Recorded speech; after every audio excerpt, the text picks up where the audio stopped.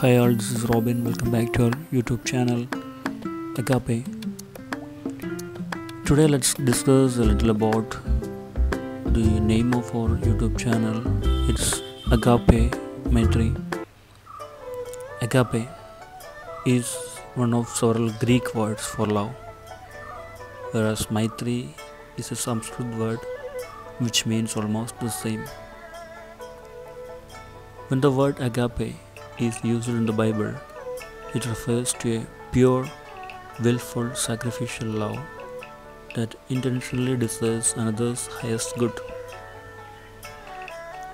Agape love is unconcerned with the self and concerned with the greatest good of another. Agape Agape in the Bible is love that comes from God. God's love is not sentimental, it's part of his character. Now let's see the Jewish view on agape. One of the core commandments of Judaism is love your neighbor as yourself. This commandment stands at the center of the central book in the Torah. The Jewish tradition finds validity to the idea of love as well as acts that supplement it. These acts are centered on ideas widely associated with love in many different traditions such as kindness, respect, compassion, and empathy. Now let's see the word Maitri. Sanskrit, the predominant language of most works of Hindu philosophy, as well as some of the principal texts of Buddhism and Jainism.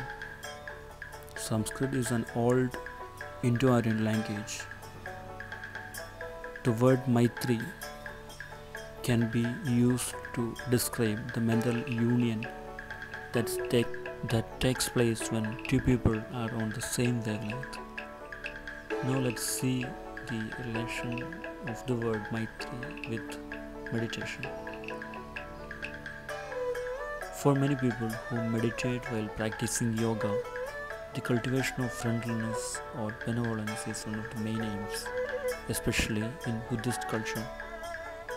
This process begins with the idea of being benevolent to oneself before extending this to eventually cover all the sentient beings. Yogis who are seeking an enriching experience that adds greatly to one's quality of life may want to consider the concept of Maitri the next time they plan to explore meditation. That's all for today. Please subscribe, like and click bell icon for more videos. Thank you.